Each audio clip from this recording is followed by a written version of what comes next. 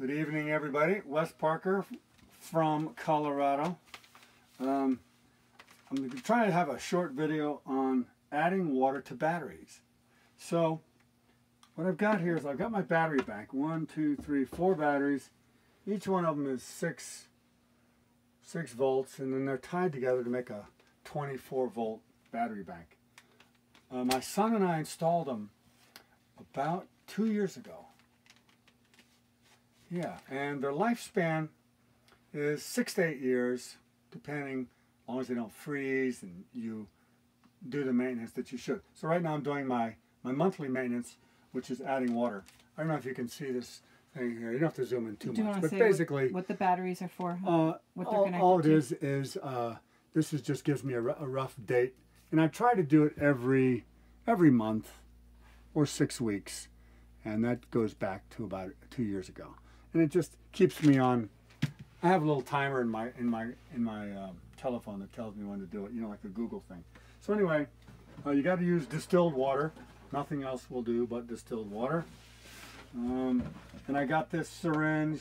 I think from a like a farm tractor place, just a big plastic syringe and a section of eighth inch hose. And I just reach in, draw out the water, and, um, and these are the caps.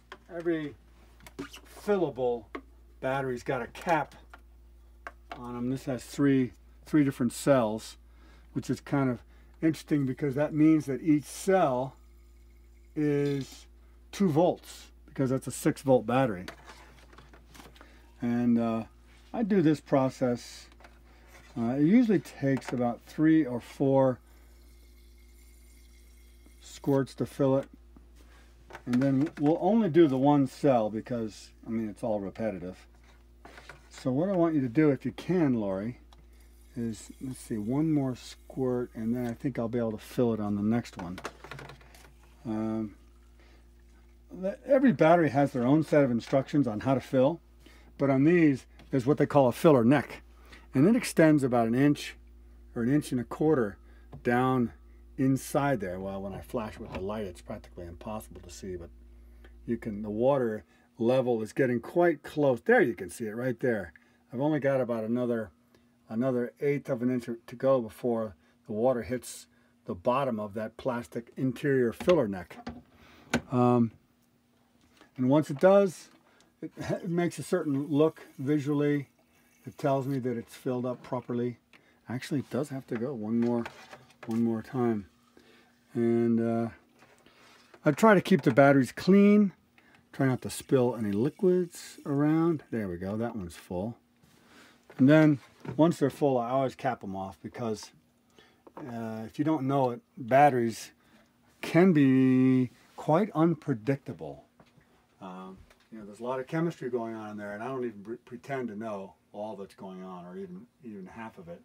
But I have heard instances of batteries, incidences of batteries exploding, or the the stuff inside getting way too acidic, and it'll it'll explode.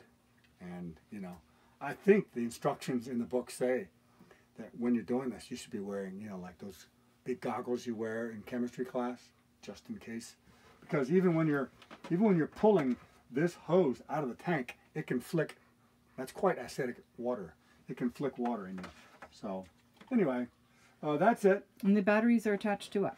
And the batteries are attached to the big red, big red cable is what brings in the positive juice, and this is the ground, the neutral, and they both go on up into the inverter up there, which takes the 24 volts and jacks it up into 110 volts, Which which is all, connects over into the big gray panel, which is our house. Household. which is all part of our solar system. yeah part of the. You haven't said that. Oh, I haven't So we live of- off the grid, 100% solar power. Right. So anyway, that that's that's sort of a subject for you know a longer one. But Sure. anyway, filling batteries. Um, that's all there's to it. Wes Parker signing out. I am at your service.